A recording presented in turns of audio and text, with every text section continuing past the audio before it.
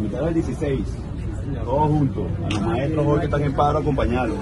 Todos, eh, el valle, aquí estamos. de paro los maestros de los paros y Bien contento. Bueno, pero cuando para el 16. Con el favor de Dios y te ayudo. Así es, un abrazo. Aquí estamos ustedes.